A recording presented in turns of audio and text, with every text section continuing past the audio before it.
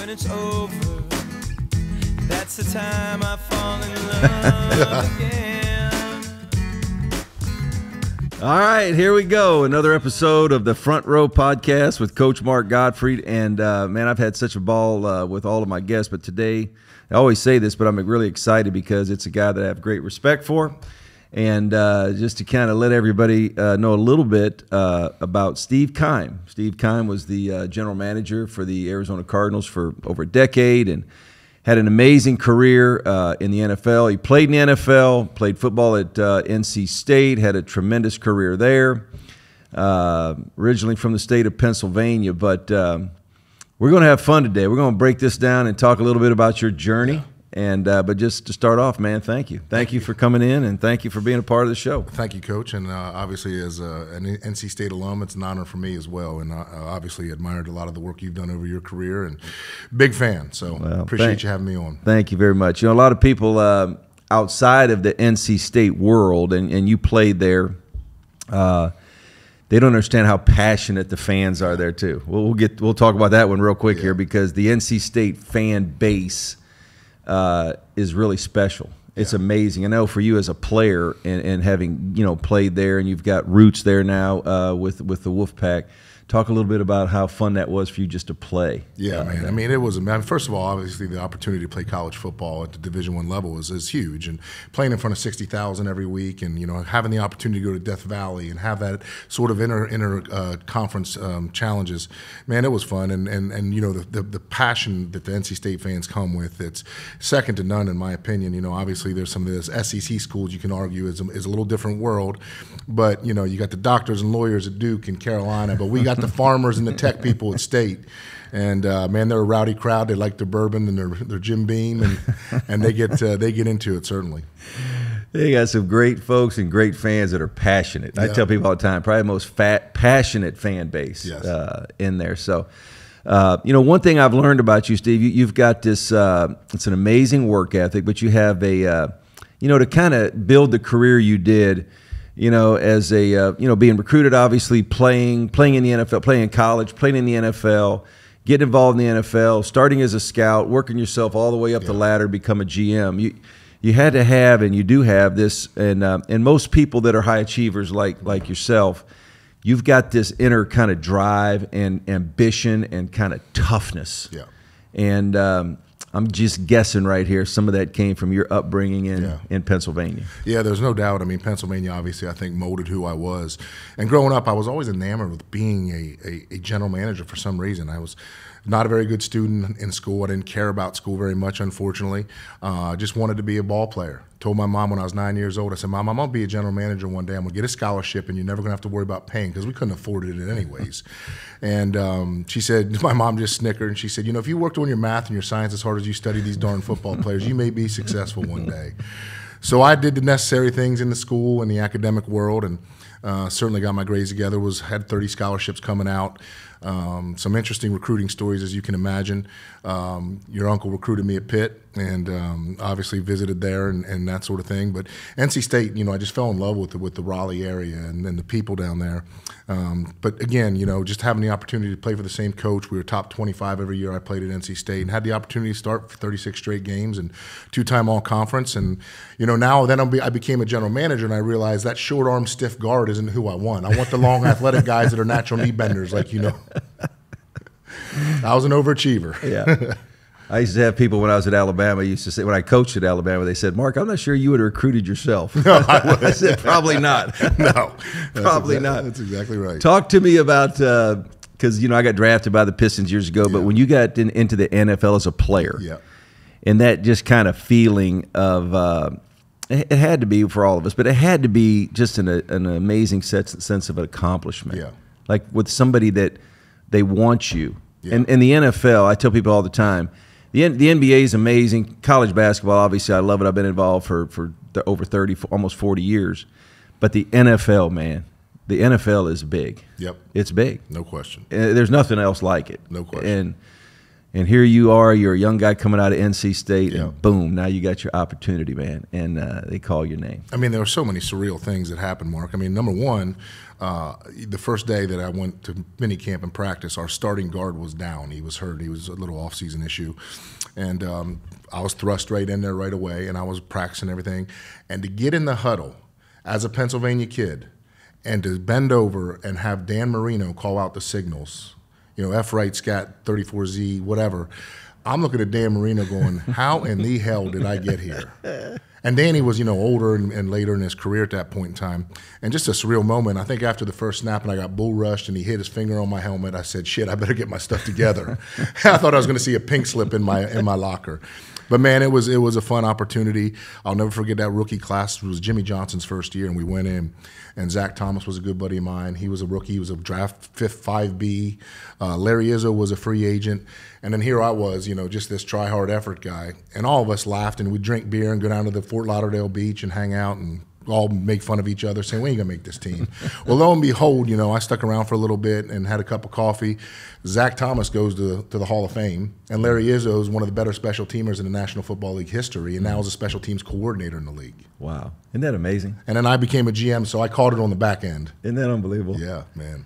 So again, man, you're you're uh, the opportunity is there, and uh, it happens in sports. It always you know just is part of the game. But Yeah. uh, you had some injuries in college, and then boom, you have some injuries now as you as you make the rock, you know as you're there in the Yeah. NFL. So talk Yeah. about how tough that might have been to go through. Yeah, I tore my ACL twice. Uh, obviously, just had knee replacement surgery, and um, you know it's just hard to get over that. It's first of all when you're a try-hard player, anyways, but then you got to battle the obstacles of injuries. I mean, you just can't forecast those things, but at the same time, that's part of the luck of being a good player in the league, as you know, in basketball and football, any any professional league. You've got to stay healthy. You can't make the club in the tub.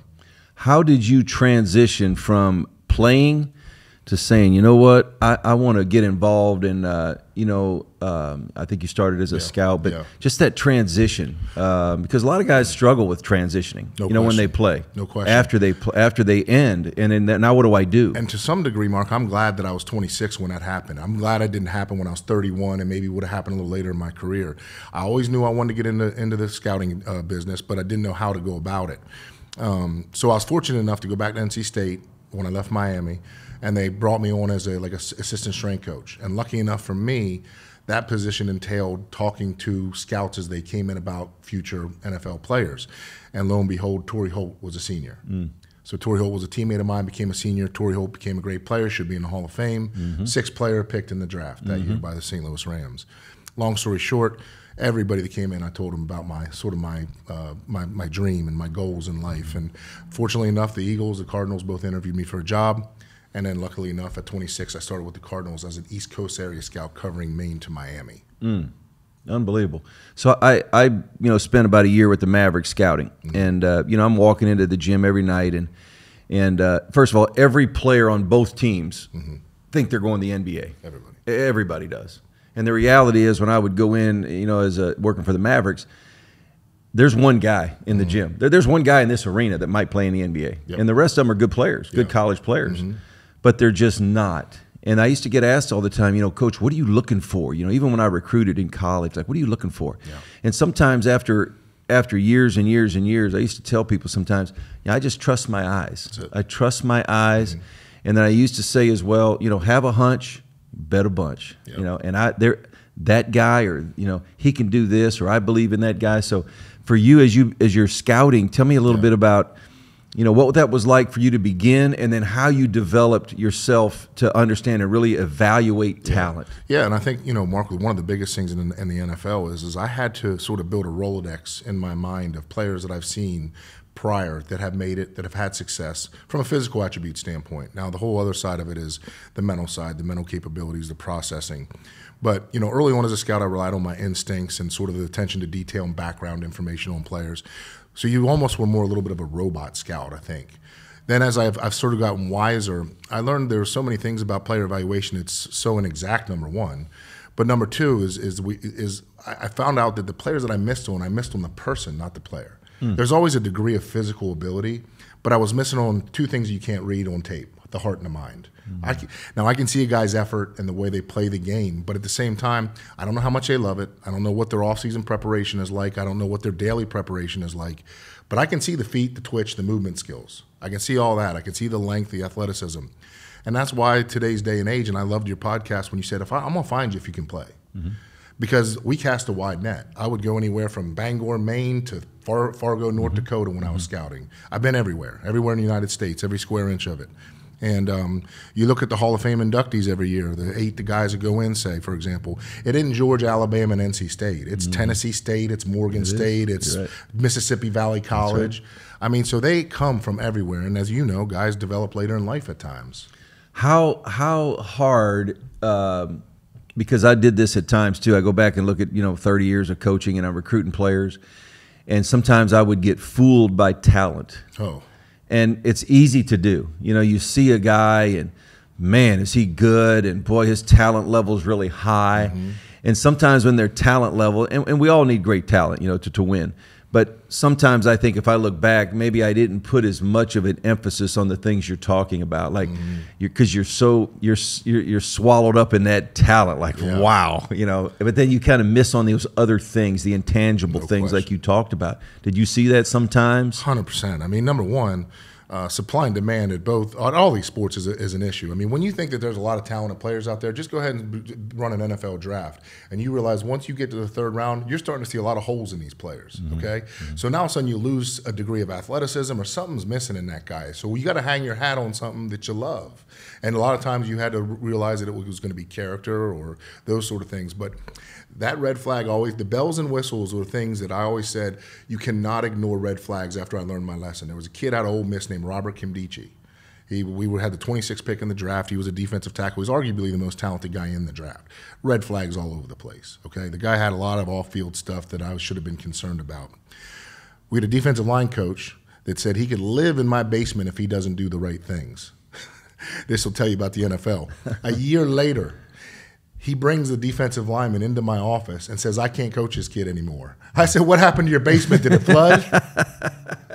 you know, it's like that, but that's the NFL, man. You get enamored with the ability and the talent, and it, it, it's enticing, and you just want to go grab it, but you cannot ignore the red flags. And, and usually, and we all have them. You know, some players. It's just trying to figure out exactly. But you know what, though? The one thing, Mark, that I thought that I got over, for example, uh, my first draft in 2013, and I never thought I would do this. Um, I was sort of going into the process a little more conservative. My first draft, I got to be careful about who I pick.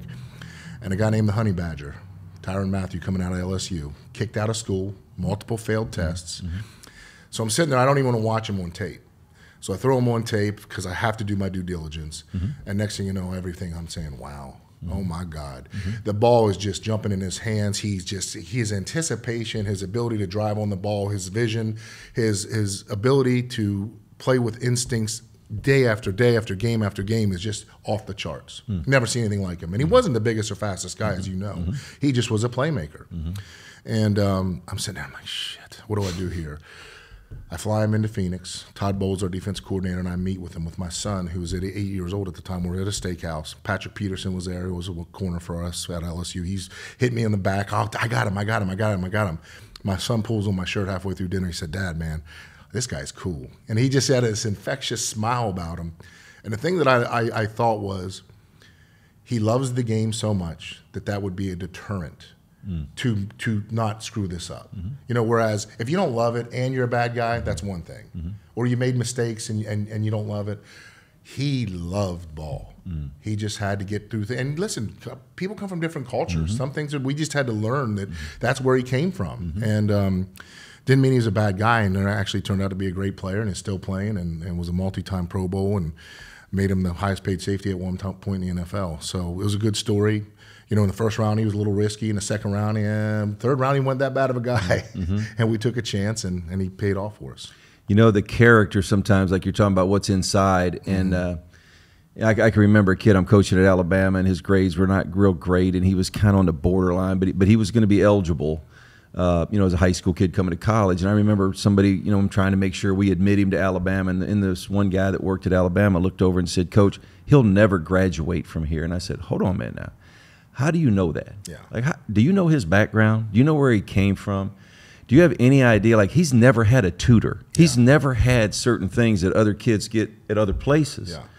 So how can you say that? It bothered bothered me. And the kid ended up graduating, and he went to graduate school and graduated from. He got a master's degree. But like you said, sometimes it takes us to look a little deeper. Yeah. And some things you, you can't forgive. There there comes a point where sometimes when guys have some issues, but there's other times where like like that where your ability to look look a little deeper into somebody and find out what they're really about Yeah. that that kind of separates sometimes the guys like yourself who Yeah. became an NFL executive of Yeah. the year and Yeah. some other guys Yeah. Because maybe they don't want to or they don't want to get past one thing or the other thing. Yeah. So I'm Yeah, sure you found that at times. No, and that was the question you had to ask yourself. At the very end, I got to a point where it's really quick. Was, is he a bad guy, or did he just make a mistake, or is he a bad guy and he's going to make mistakes again and he doesn't love it enough? Right. Again, I got to the point where passion was such a big deal to me, and um, still doesn't mean you can't miss. Fifty-one percent of the NFL first-round picks are, are busts, and that's a low bar that I had when I had my analytics team run it. It was if you became a starter within three years of you being drafted, which is all it was for a first-round pick, you would think he's a Pro Bowler. It was just if you started within the first three years as a full-time starter, you cannot forecast injuries. Fifty-one percent. How about that? It's it's it's not a good rate, obviously. So let me go back. So now, when you begin, you first started, you, you later became the general manager. But when you start off and you're a scout, and and uh, like everybody, um, you're just probably working your butt off and, and trying your best to be the best you can be, and then opportunities are coming, hopefully, for yourself through the through the organization or in other organizations around the league. So just talk about a little bit about that climb. Yeah, man, I was, grinding, and, and, and, and you know it's funny because people think that the NFL is glamorous, and there are some things that are that are obviously you know huge benefits, but man, I, I'm, I'm staying in Hampton Inns in in in in, uh, in, in Starkville, Mississippi, laying on top of the bed because I don't want to get under the sheets, and I'm packing my bag and I'm driving from you know Marshall University. I'm getting lost in the hills of Virginia. I mean, it, it's not it's not glamorous, and um, you know that was at times even before GPS. So I'm having the map out on my car hood, and I'm trying to look at where I'm going, and I'm getting lost and frustrated. And you're up till two in the morning writing reports on your computer. You're not you're not down at Ocean's 44 having a steak and a, and a glass of wine. You're grinding, and um, so you're not sightseeing at all. And you know you, you, you grind, you grind, you grind, and then you have a little bit of time off in the summer, like a school teacher. But then you're ready to get back at it again. And it's um, those guys are the lifeblood of every organization, though, because you got to build through the draft to have success.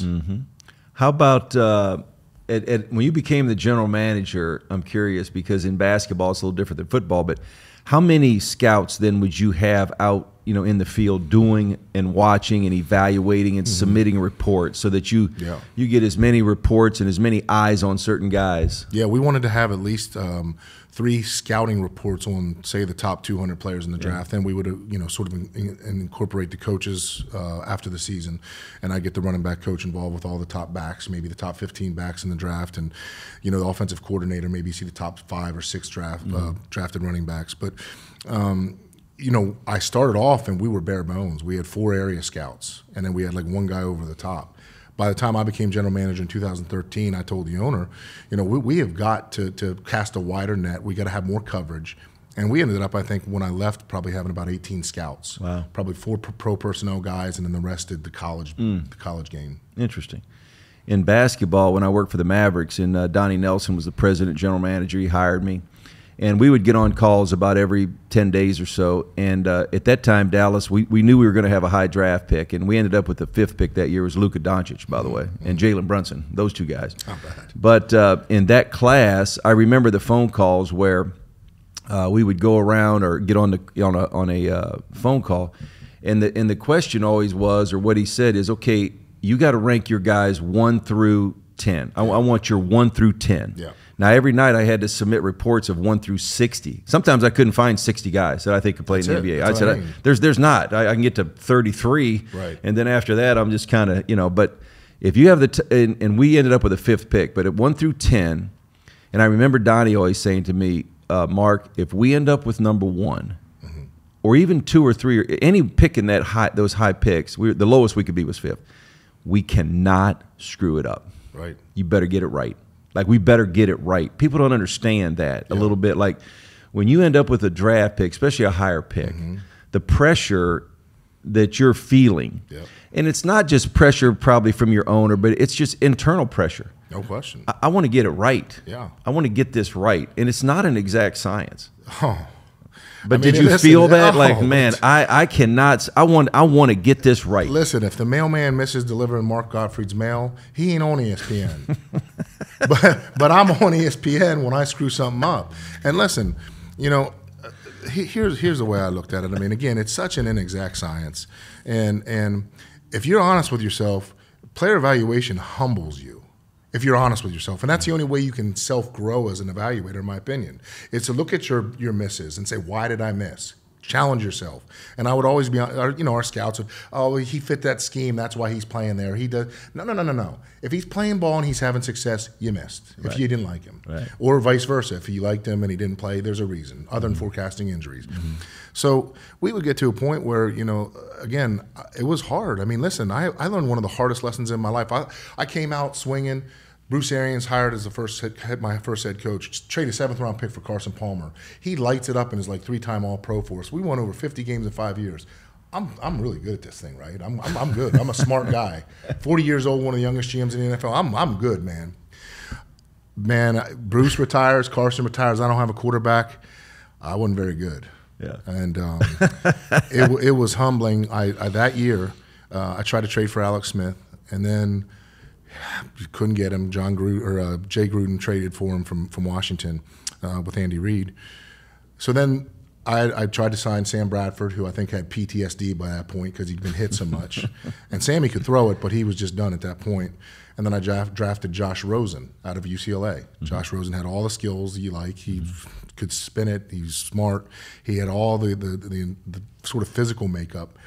I'm just not sure he loved it that much. You know, he had a lot of other interests out there. So I took him with the 10th pick in the draft, and um, lo and behold, we see him play as a rookie. He doesn't fare so well. We fire a coach after his first year. Mm-hmm. A lot of things go wrong. Mm-hmm. So now all of a sudden I'm sitting there, and this is unheard of at this time. Mm-hmm. We're sitting there with the first pick in the NFL draft. I hire Cliff Kingsbury, who's a fired coach out of Texas Tech. So now all of a sudden, here's this GM who one time, two time executive of the year, he thought he's pretty good, right? And now I'm lowering whale shit. I don't know whether I'm good or I what do I can- I'm throwing darts. How am I going to build this team back up again? Got the first pick in the draft. So now all of a sudden, I hire a fired college coach and draft a midget quarterback with the first pick overall. if you put that on paper, you think I should be putting a straight jacket. I mean, I shouldn't be a GM. I should be putting a straight jacket.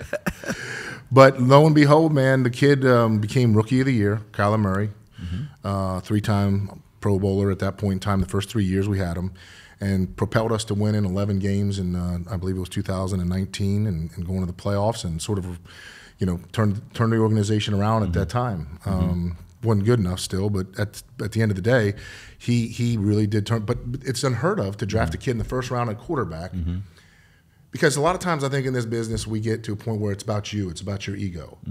It wasn't about Steve Keim. This is about what's doing best for the Arizona Cardinals, mm-hmm. and that was what was most important. And I had to mm-hmm. put my ego to the side, and that's tough mm-hmm. because obviously it doesn't look very good. It doesn't it doesn't look good on my resume. It doesn't look good, but I think it's helped people in the NFL to some degree. I'd like to think that they realize you can cut bait pretty quick, even though it's a huge financial loss and it's not what you want. But sometimes you got to rip the band-aid off and make a big That's right. decision. That's right. You do.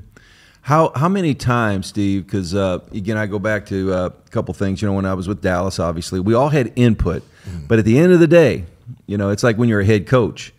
I can get input from my assistant coaches, but at the end of the day, I got to make a decision. And here's what we're going to do, and here's how we're going to play. And yes, I like that. Mm, I'm not. I'm sure I like that. Yeah. Same with scouting. We would all have input, but at the end of the day, Donnie Nelson, who was our GM and president with the Mavericks, or Mark Cuban, Yep. you know, they listened.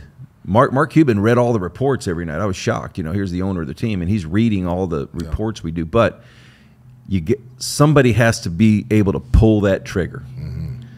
and when you sit in that seat, a little different No than that other seat. No question. and now all of a sudden, see you, you as you're coming up the ladder, and you started as a scout, and you work all the way up, and now you're the GM, and that again, that pressure to say, "Hey, pal, Yeah. this one's on you." No question. I had all the answers when I sat in that chair. How how many times? And I know every organization is different because every every owner is different. But how many times was there a uh, kind of a butting of the heads maybe between you and the owner. And, you know, he might say, "Hey, I want this guy," and, and you say, "Ah, I want this guy." And Yeah, well, there, were times that there were, you know, just questions, and, and sometimes, obviously, from there, everybody looks through through a different set of lenses. The owner's looking through it from ticket sales and revenue, and wanting to do things like that. You know, the head coach is looking through. I want a guy to play now. I want to fill gaps of, of positional needs. Right. I'm looking at it as a three-year span of we got to do what's best for the organization and draft the best player for the Arizona Cardinals moving forward. So everybody looks through a little different set of lenses. Um, so what I would do is, you know, again, I would listen to the scouts, I would listen to the coaches. Uh, owner obviously would always have input on not usually anything but the first or second round picks, and they'd just give you their ideas. Um, and you respect that. The shit they pay the bills. Um, but then beyond that, you know, I like to hear the coaches because a lot of times coaches and scouts differed. You know, the coaches wanted the guy that was the guy who could process, could play different multiple spots, was smart. You could tell you on tape he did the right thing. Scouts, big, fast, explosive. Okay, you know, we're looking for that talent. And um, at the end of the day, I had to take all of that input in, and in my best decision, again, take all that into account. And quite frankly, now all of a sudden it's an Arizona Cardinal decision. It's not just a Steve Keim decision, even though I had to make the call. Right. And I think what was really big in the end was making sure everybody now all of a sudden is on board because somebody's going to be butthurt in that room, mm-hmm. you know, because there's always going to be a little bit of a difference of opinion. Mm-hmm. And I like variances of opinions. That's mm-hmm. how you that, how, how you hash it out and you find good players, you know, to have the difference of opinion. And um, so I sort of encouraged that, and I wanted them to be strong at the table with their conviction. Yet at the end of the day, listen, once this boy's on the board, he's an 85 on the Cardinal grading scale. He's a, now that's that's what the grade is. Respect it. I remember sitting with Jeff Fisher. Uh, my son was, uh, my oldest son played football at Stanford, but he went to a camp at Vanderbilt, and Jeff's son, I think, was in the camp, and we're sitting on this hillside watching the kids play, you know, high school kids. And I asked him that same question, and he talked about uh, it was the year I think it was Vince Young, and uh, I can't remember the other quarterback that year, but uh, he he wasn't excited about Vince Young. Yep. And uh, it was actually the owner's wife, believe it or not, that kind of put the pressure. And he told me the story, and I actually kind of sat there a little bit like, wow. I mean, hold on a minute now. Yeah. And it was just kind of one of those things. And he told me, he said, it's not often that it happens, but sometimes, Yep. you know, it, you know, it's different in membership and ownership. Yeah. Well, when I'm the owner, I can step in at times. And uh, sometimes that's probably hard. Yeah. It's hard for a general manager. It's hard for a coach, and Yeah. that's difficult. Well, I, I learned that you know you got to try to keep the peace with everybody. You know, and obviously you can't make everybody happy. Sometimes, you know, again, the owner writes the checks ultimately, so you sometimes have to decide whether you want to still work or not. Right. Secondly, I also learned a valuable lesson that I didn't. I learned to not force players down coaches' throats. Okay, even if I really liked the guy. If a coach isn't on board with a player, it's going to be awfully difficult for that guy to have success. Mm-hmm. You know, once he gets through baggage claim, it's already got a target on him because that coach didn't like him in the draft process. Mm-hmm. You know, and it's hard sometimes for them to get over that ego part for them. We mm-hmm. drafted a kid out of Virginia, Thomas Jones, a running back. I don't know if you remember Thomas. Was a good player in the NFL. Went on to play at the Jets and, and the Bears and ended up being a Pro Bowler. Uh, I think he's an actor in LA now. But long story short, we take him with a six pick overall, and I think our running back coach wanted Ron Dayne or somebody else like mm-hmm. that at that time. And um, from from the get go, the bullseye was on him, and he never really had success in Arizona because he didn't get an opportunity, you mm-hmm. know, fair opportunity in my mm-hmm. opinion. So you learned on, you know, there's enough good players out there for us to all agree on, you know, to a degree. You know, sometimes you got to be make a tough decision, but you'd like to make sure everybody's on board, particularly the guy coaching them. We had we had and, and again I, when I was with Dallas, as a coach too, because I coached for all the years. You know, I'm like you said, I, I'm trying to find. At first, I'm looking at guys that would fit. Like, hey, we have a need for a two guard, Yeah. and I learned quickly it was more about we have to draft the best player. It's an asset. Yes. Because even if he doesn't pan out, we can trade him. He has value. Yes. I can get somebody else for him because of who he might be. So that whole thing of trying to find the best asset out there. Yeah. And then we'll we'll figure that out. You know, once we get the best players. Is that similar in football? Yeah, because here's the thing, you know, well, you get in trouble when you start drafting and, and signing players based on need, because now all of a sudden needs are always evolving and changing. You know, your needs in, in, in April and May are different from your needs in, in September and October, but you can never have enough good players. That's right. You know what I'm saying? So, mm-hmm. so a lot of times when you start forcing picks or you start forcing need, now all of a sudden you're taking a lesser mm-hmm. player, a lesser talent, and it's going to hurt mm-hmm. your football club.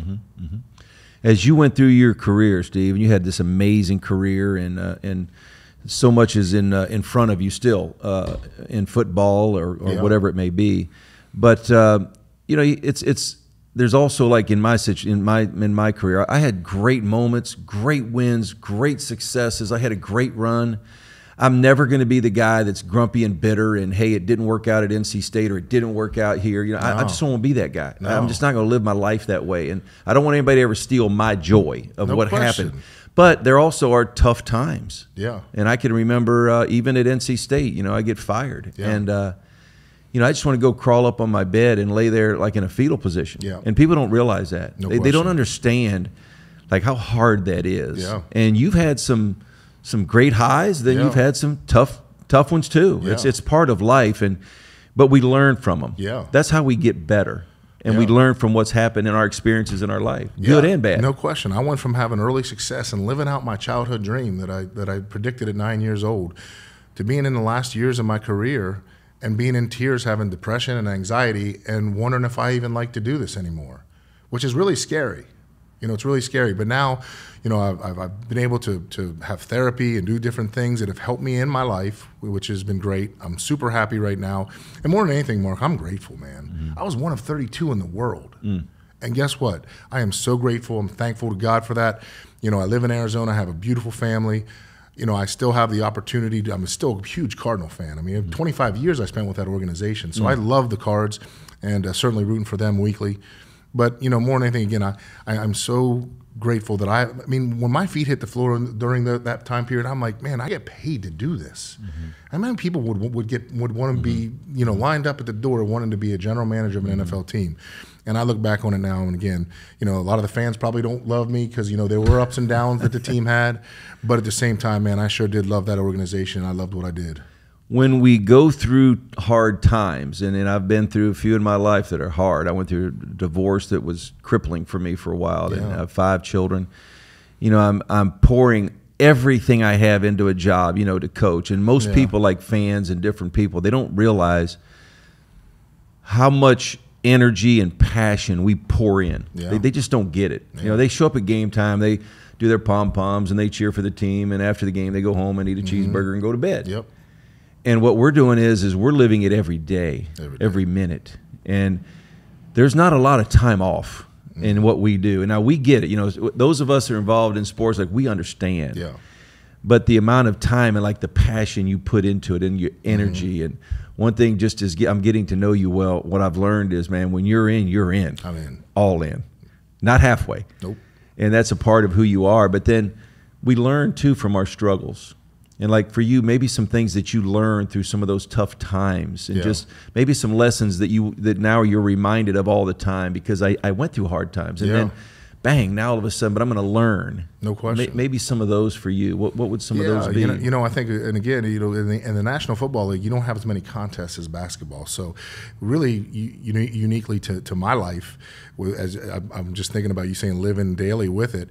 Man, you'd win a game on Sunday and you'd take a deep breath and say, "Okay, we got to win next week." if you lost, it was the end of the world. yeah, So you're living and dying on every loss, but the the, the losses are the ones that just crippled you. And what I learned is, you know, it's not always as good as it as it seems to be, and it's not always as bad as it seems to be. You got to stay a little level-headed, which was hard for me because I'm an emotional guy. But you know, now that I look back on things, I think one of the biggest things I've learned, and I've created a little more patience in my life, and became a little better person, is to realize, you know what, man, it's really you get worked up over real things that don't matter, hmm. you know, that aren't important. What really does it matter? Mm-hmm. It- the big scheme of things, is this that important? Mm-hmm. Not really. Mm-hmm. You know, your health is, your family is, and that's what's important. Mm. that's an ama- It's an amazing lesson, and uh, and it, those times we've had for me, uh, Steve, they they they were hard, but you get through it, and you realize, like you said, the sun's going to come up Yeah. again. You know, my uncle Mike, uh, who you mentioned, Mike Gottfried, was a head football coach at Cincinnati and Kansas and Pittsburgh, and went on ESPN, and uh, just shot a podcast with him and my father. It was amazing. I had a, had a great time. But I remember him telling me early on after he got fired at Pittsburgh. I said, Mike, if you ever got back into coaching, what would you do differently? And his first answer was, he said, Mark, I'm gonna, I would, I would enjoy my wins more, and I would try my best to let the losses go quicker. Yeah. Just what you just said. Yeah. Isn't that amazing? No question. And so then I, you know, I went from Alabama to NC State, and I'm trying my best to say, man, well, we just man, we just beat North Carolina at North Carolina in the Dean Yeah. Dome. I want to enjoy this. Yeah. It's a Saturday night, but we, we got to play Virginia Yeah. on Wednesday. Yeah. And I don't have enough time to enjoy it. No question. And uh, that's another one that people don't really understand. And you, you said it so well as far as when you win, it's that next thing, Yeah. that next, it's, Yeah. it's coming. Yeah, and, And that's it- one of the first things that you know I had a therapist say to me. They said once they got to know me, they said, "Steve, what, what what's next? Like, what, why is it always got to be what's next? Hmm. Why can't it be live in the moment, enjoy this, enjoy being with Mark Gottfried right now, a guy who you admire the hell out of, and enjoy this conversation and relish it." Instead of just thinking, okay, after this, I got to go do this, do that. No, man, enjoy this moment. This is special for me, mm. you know, and that's that's what we got to get better at in life. Especially I had to. It was always was now. How many cars do I need? How big a house do I need? What do I need? How much more money do I need? No, man, enjoy your kids. Enjoy the time you have. Time mm. is undefeated, mm. Isn't that amazing? no doubt. And your children too, like for all of us in coaching, you know, they go through it too. Oh, They they go through it. They understand it, and they hurt. Yeah. When Dad hurts, I hurt. Yeah. And uh, you know, when I left Alabama, and we'd been there 11 years, and, and I had two kids that were getting ready to go to college, and they were like, "Nope, I'm not coming here. I, I don't want to go there." Yep. They they hurt for you, and I'm Yeah. sure your family too. You, they see the ups and downs. They see. Um, you know how exciting and amazing Yeah. and exhilarating this one, a win can be, but then they also see dad over here too, where Yeah. man, it's a struggle sometimes. And particularly uh, when they got to an age where they could start reading some of the stuff, and Yeah. as chat boards and those social media got bigger, where people can just say whatever they want. You know, not so much that maybe dad is a, is a, is a bad GM, but sometimes people then become personal, and that gets mm-hmm. a little tough for those mm-hmm. those youngins to, to sort of handle. And I understand it, but at the same time, you know, hopefully through some of that, it builds them to be a little stronger. You know, that it sort of thickens their skin. Mm-hmm. when you were when you were working with the Cardinals, did you in the organization did you guys understand how big the NFL has always been big, and um, but how big it was. And I'm gonna tell you where I learned how big it was. One time, I, I'm playing golf at Augusta, believe it or not. And it's my father and uh, Mike Shula and his father, Don Shula. So we do a father son at Augusta. How about that day now? Wow. And I had a friend of mine who was a member, and so we go over there. But at night, you go to dinner. It's eight o'clock. We, we go in, and the members have their green jackets on, and they everybody's wear a coat and tie for dinner. Eight o'clock, you got to be in your seat. Yeah.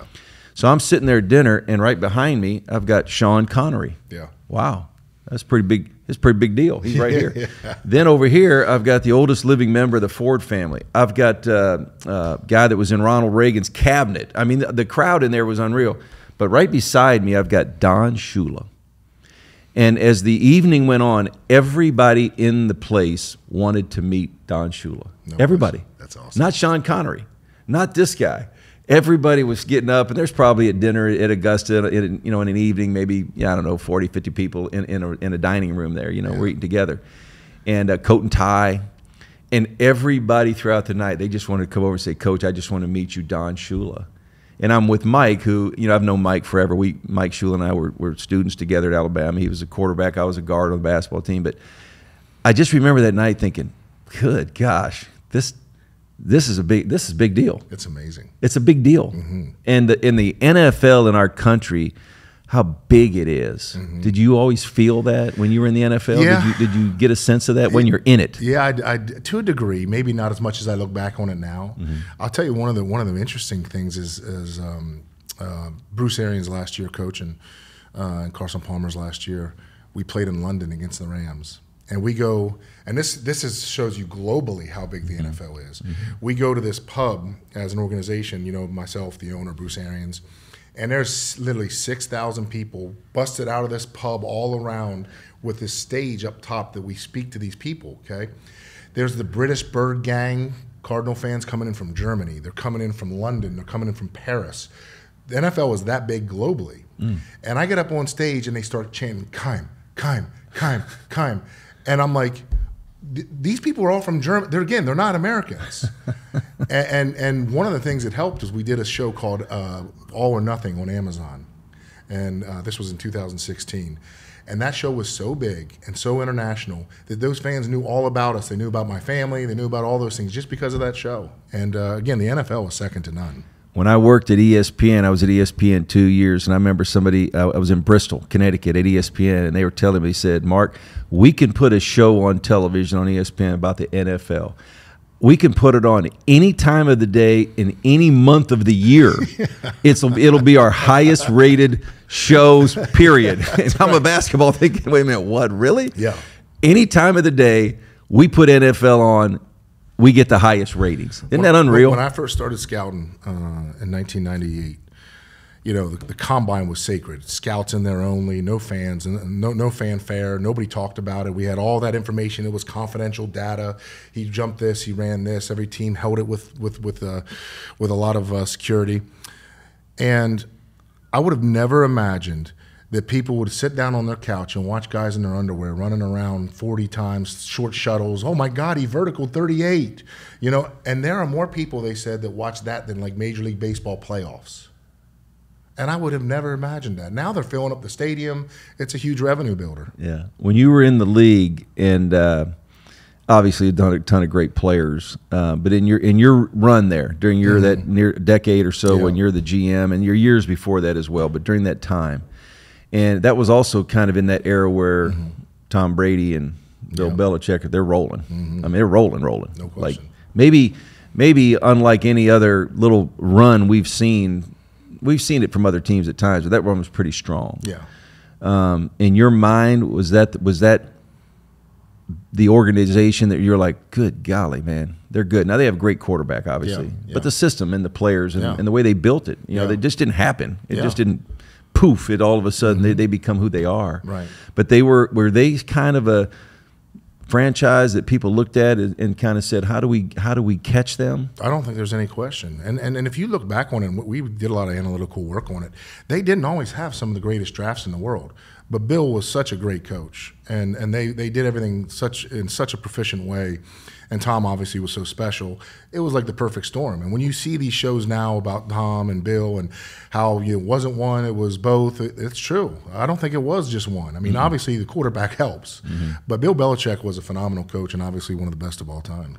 when you went through uh, i think one of your, your years i think you guys did the hard knocks Yeah. How, tell me about how how that p- plays in because on one hand I, I'm looking I'm a fan I'm a fan Yeah, I'm an NFL sure, fan sure. and I, but I coach so I'm around in basketball I say that's an amazing thing for the fans for everybody for the whole country they get an inside look Yeah. they're listening to conversations some of your conversations coaches players Mm-hmm. but that's also can be a little bit intrusive No question. a little bit. Like even for me as a coach, I want cameras to come. I'm, I might want them to come in, but maybe not all the way. Yeah. Talk a little bit about the hard knocks uh, that that with you guys. I mean, I, I love it from a fan perspective because there's nothing like peeling back the curtain. I mean, that's what it's all about, right? As- And seeing the things that you and I get to experience in our daily life, which is pretty special. Yet at the same time, I'd be lying if I told you it didn't make me do my job differently. Yeah. And I did it twice. So Amazon, the, the All or Nothing, was actually more intrusive than the Hard Knocks because I was mic'd almost every second of the day. And uh, I'll never forget Bruce Arians and I were at the combine one day, and we were walking out of a place eating lunch, and a guy stopped us on the street, and he said, "Hey, Coach Steve, how you doing, man?" He's like, "I did the, I did all the, um, he- uh, you know, the the voiceovers and the background stuff for All or Nothing, the show for NFL Films." He said, "Man, I'd love to go to that bar, the living room you guys go to." It was just because he would hear everything we talked about all day, and he knew e- they hear every detail, and you're scared to death. And finally, like what makes it to the to the Yeah, to the finishing room. That's right. Yeah. So you do, you, you, and you got to worry about conversations you have with players. You don't want to disrespect anybody. You don't want to hurt anybody's feelings, and then you obviously, you know, you got to then deal with how do fans perceive you. How do you, if you go back as a player, scout, front office, all the way to GM, and uh, and part of your success, obviously, and I'm going to coach, so this will be a great. I'm, I'm, I'm, I'm can't wait to ask you this one, but in your mind, what qualities make a great coach? Always make a great coach. Um, I'm a little more old school, so I still think there's a strong um, argument that the the combination. I know it's probably not answering your word. The leadership and account holding players accountable. These guys still want to be coached hard. But it's getting harder and harder to do, as you know. The video game world, the participation trophy bullshit that we have, that's bad. Ball, that's bad. That sets a bad precedent. But but the Larry Fitzgeralds and the Carson Palmers and some of the guys that I was around, the great ones, you know, the the Hall of Fame players, uh, they thrived on being challenged. Whereas, you know, the pat on the back and the hey, it's okay, we'll get them next time. That's not that's not coaching, and that's where I really see a big difference in the game today and and sort of the mindset. But that's holding guys accountable, being hard on them, and having expectations. And there's nothing wrong with having expectations. It's what we pay you for. This mm-hmm. is a business. Mm-hmm. even in pro sports, because first of all, professional sport, the guys are getting younger and younger, especially in basketball. You know, a lot of guys that are playing, they they should still be in college. But anyway, they're they're younger guys. But part of I always felt too is that relationship that I had with a player, where that guy will respond to me. Yep. Because I always felt like if he didn't, if he didn't feel like I cared about him No personally, individually, No not as a basketball player, but if he believed I really had an interest in him, in helping him, sometimes those guys and they'll they'll run through a wall No because they care because they know you care about them. Yes. Same in the NFL. No question. And here, here, here's here's what I think people underestimate. Coaches nowadays, or coaches have always made really good money in the NFL, and I think people underestimate how talented you have to be as a football coach or a basketball coach to hold players accountable and be hard on them, yet still have that ability to pat them on the back or put your arm around them and get them to buy into you feeling that they love you love them as well. Mm-hmm. You know, Bruce Arians was phenomenal at that. The best I've ever been around. He was hard as hell on players, but then he had a chance, you know, he had ability to pat them on the ass, say, "Let's go get a beer, baby," and act like nothing happened. But also, they knew that he loved them and he cared, and that's why he cared about the football, not the personal. It was the football that he wanted him to get better at, and he was able to separate the two. And, and to make him feel that he sort of like my college coach, man. I, I had one of the best line coaches in the country at NC State. I thought he hated me my first three years. my, my, my, my final year at NC State playing, I realized, you know what, man, this guy loved me. He, that, that's why he was so hard on me. Yeah. And uh, that's why I think I told you last night. I shit, I, I flew into Vegas at his retirement. I gave him a Rolex with an engraved back that said "43 years coaching, two national champions. You will always be my coach." And that guy made me want to. he. I wouldn't be an NFL GM without Bobby Caldwell. Wow. You know what's amazing about that too, Steve, is there's a lot of players, and you you have something inside of you because as I've getting to know you that you really do care and, and you you have this passion. Yeah, but there's a lot of players that can't look back to people like that and give them the credit. You know, Yeah. they and that's okay. Yeah. But I love to hear. I, I, I do. I love to hear the fact that sometimes players. You know, I remember I'm coaching at Alabama, and I got this kid from Memphis, really good player. Didn't play a lot as a freshman, sophomore, but boy, as a senior, he was good. Had 37 against Mississippi State one night. I mean, a good player and wonderful family, mom and dad. And uh, I remember when he got done playing, his mother called me. Uh, her name was Mallory, and Mallory called and she said, "Coach, I just want to thank you." And and I'm I'm a little bit taken aback because it just it was rare. Yeah. And she said, I just want to thank you for how you treated my son and how you helped him mature and how you helped him become a better player. Yeah. But some, and, and I was so appreciative. I still remember it. I still remember the phone call. But for you to go back and look at the people along the way that have helped you, Yeah. it's important because um, none of us would be where we are without those people No doubt. that have helped us. No doubt. And, and you know that the hard part about a general manager position in the NFL is a lot of times, let's be honest, it doesn't end well for players because of whether they're, you know, sort of diminishing skills after a while, they get to a certain age or certain injuries, and they're making a lot of money. You got to make some tough decisions. So that becomes personal, unfortunately, sometimes, you know, where they take it personal and then all of a sudden it fractures a relationship. But for example, I introductory press conference. I'm named general manager of the Arizona Cardinals. Before I even hire a head coach and get a quarterback, I have to go up to my office and I have to make the toughest decision I had to make in my NFL career. I had to cut one of my closest friends, hmm. a guy that went to NC State named Adrian Wilson. He's in the Ring of Honor. He's six-time All-Pro safety at the Arizona Cardinals. And then because of the salary cap and he was diminishing in his, his skills, his age, and hmm. those sort of things, I had to get on the phone and I had to cut one of my closest friends. Mm. And I will tell you this: it was a lot of tears in that conversation. And we we then signed him to a one day contract. He retired a Cardinal. This was a couple years later, and he sat there at that press conference and he said, "I knew Steve Keim was right for the job when he cut me, because I knew how hard that decision was for him. Mm. And for him to be able to make that tough decision showed me what he was built, what was what was he was made of." And man, I, I almost cry thinking about that right now. Isn't that amazing? Oh, I tell this story, Steve, and uh, a little bit about it relates to what you just said. When I was the graduate assistant coach at UCLA, and Jim Harrick was the head coach. He just hired me. I'm the first year, and I'm just learning, and you know, I want to coach, and you know, I'm Yeah. excited, and you know all that. And we were playing on the road at Cal, and I got sat in the seat right beside him on the bus. We were going over to shoot around 11 o'clock, just do a little walkthrough, you know, that that mid morning there. And I leaned over and asked him. I said, "What's the biggest difference between being an assistant coach and a head coach?" Mm-hmm. And I wanted this amazing answer. And I was I was ready for this elaborate answer, and he just looked right at me and said, "Lonely." That was his answer. No question. And then later, when I became a head coach, it's like when you become the GM, mm-hmm. and all of a sudden that decision you had to make, like that one Yeah. you talked about, where Yeah. you got to make a decision on one of your best friends who's a mm-hmm. player. Yeah. All of a sudden, man, that office, that office can get lonely. Oh, and that office can get taboo. All of a sudden, too, those assistant coaches, they're hovering around my scouts, but they don't want to come down and talk to me. Or, or you know, they're, they're, or the scouts don't want to come talk to me because they're worried they're going to get fired or something's going to happen or I'm going to get upset with them. Like you said, lonely. And it's interesting because one of the questions that you asked your dad and your uncle, um, I thought was a great question. You know, what would you have done differently? And I had to think about that just a little bit ago. And I started to think to myself, you know what? If I really had to be critical of myself, I really wish I would have, and I thought I did a good job of it, but Mark, I wish I would have spent a little more time paying it forward. Sitting around with my scouts and talking about mm. some of the tough decisions I got to make. And when you're in this position, here's how I look at it. And, and, and sort of, again, educating those guys on what it takes to sit in that chair. And I think I did it okay, but I w- look back and I think I could have been better. Mm. Because there's so much to learn. So much. And there the- is no, there. You sit down. There is no manual how to be a GM, bro. You you you are sometimes it's. Man, I, I remember I'd sit in my office sometimes like this, and my owner would come around the corner and say, "So you want to be a GM, huh?" I signed up for it.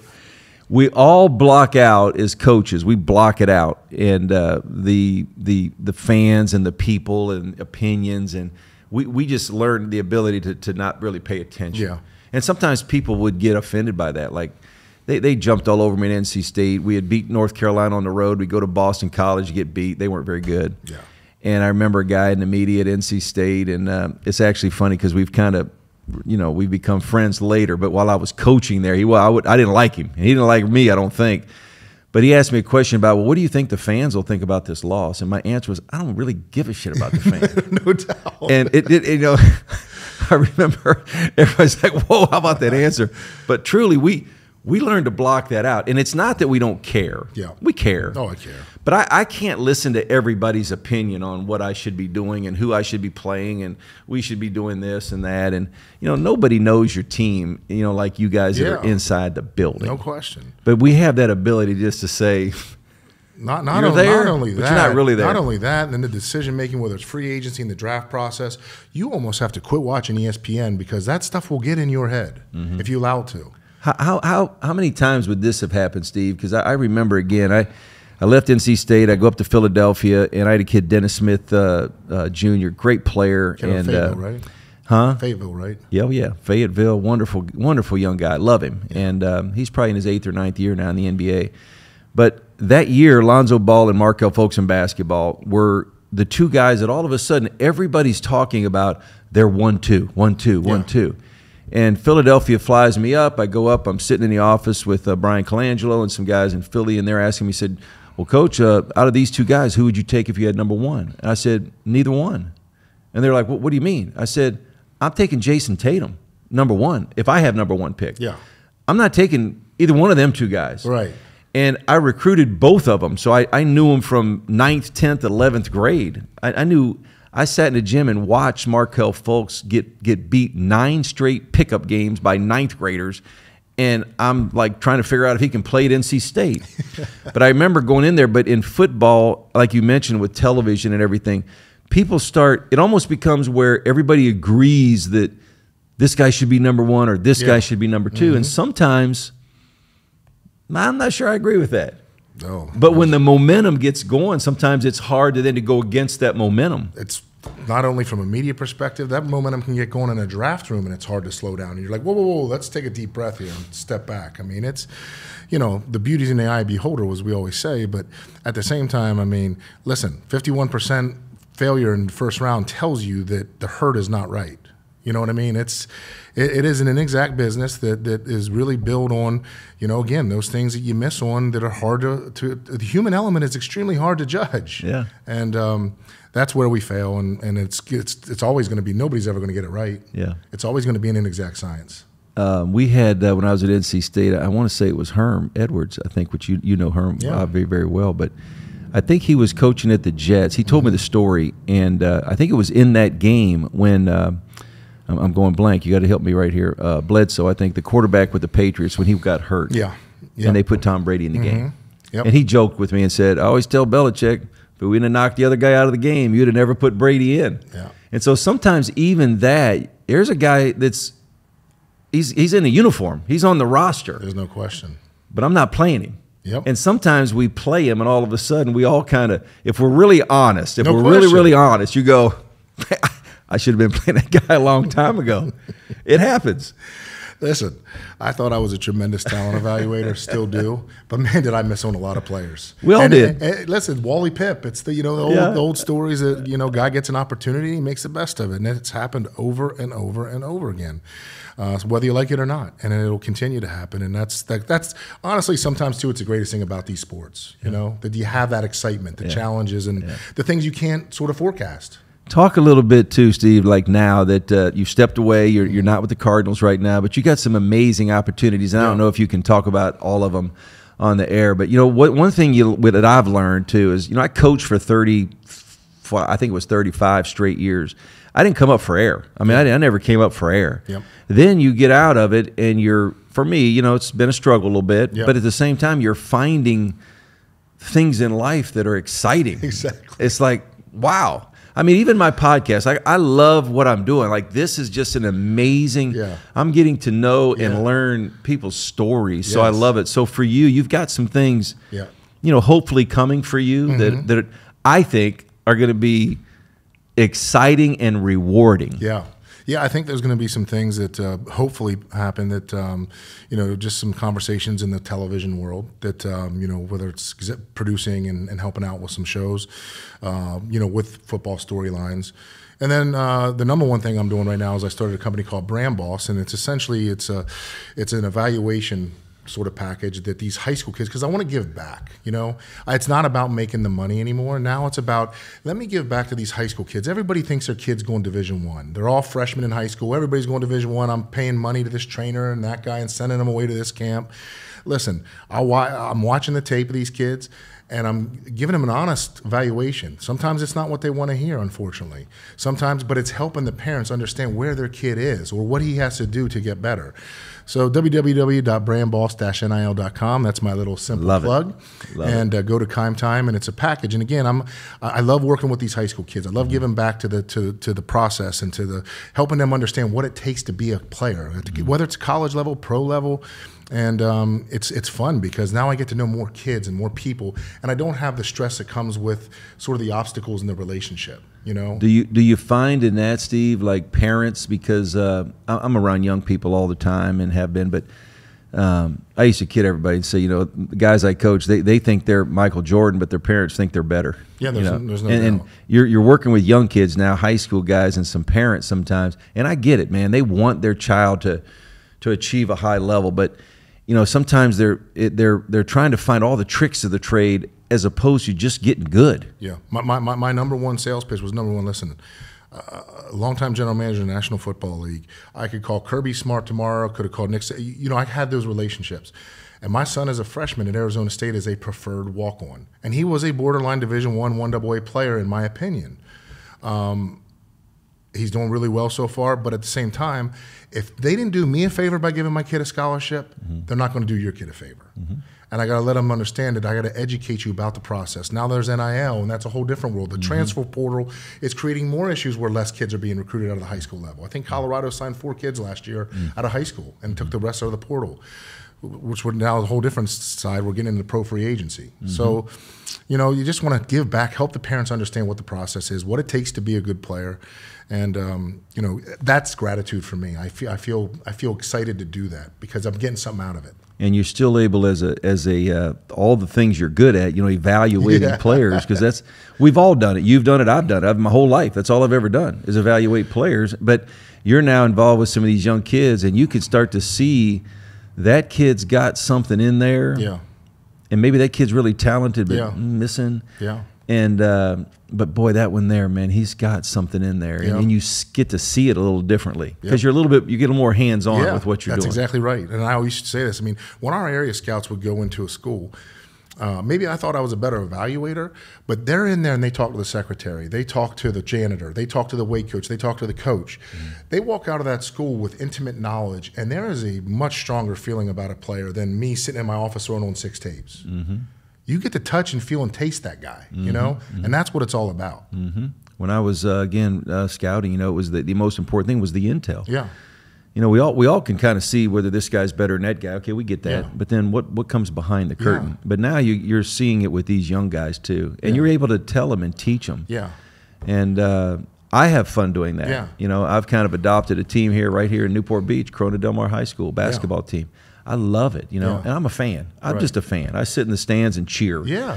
But when I get to talk to the team or talk to the individuals, you know, it's such a it's a lot of fun because I want I just want to help. I just want to help them. I'm not Yeah. coaching. I'm not I'm not they have great coaches, great coaching staff, but I just want to help young people. that's it. And uh, Again, trying to give back, pay it forward. and people have bit. helped me No throughout my whole life. Yeah, And, I uh, owe it to I, to- I owe it to the game. Yeah. the game's much bigger than any of us, and and, and it did so much for me in my life and put Mm-hmm. me in a great position that I owe it to, to the game. I owe it to myself. I owe it to my family, and I I owe it to the youth of America to help that we continue to get get better Mm-hmm. and better and better and become more professional and understand. Get off your phones, get off the video games, and get out there and work your ass off. Get good. Yeah, get Just good. get good. Get good. Usually, it, usually good things will happen Yeah, if you just get good. That's the bottom line. That's right. Well, let me say this here. We're gonna we're gonna close this up. But Steve, I, I'm so thankful, and um, you know, obviously we have the NC State connection. Yeah. Uh, you played there, and you know, I coached there. But uh, man, incredibly proud of you and what you've done throughout your career. And I truly believe, Steve, you got you have things coming, and it may be back in football, it may be back as an NFL executive. You were an NFL executive of the year multiple times, and you know your career speaks for itself. But Yeah. I, I do think there's going to be some amazing things that uh, sometimes you don't even know they're there yet, and they're, they're going to come. They're going to come your way, and so uh, I'm hoping the best for you, man. I appreciate it, and I, I, like I told you, I promised myself I am going to appreciate moments like this that are special to me, and I'm going to continue to smell the roses. There you go. Well, thank you, man, for coming in, and uh, it was a great one today. So thank, you. brother. That was great.